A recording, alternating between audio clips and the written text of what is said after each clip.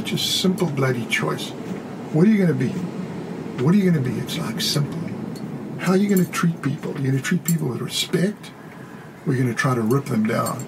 And uh, I always, um, you know, I think I've got a lot.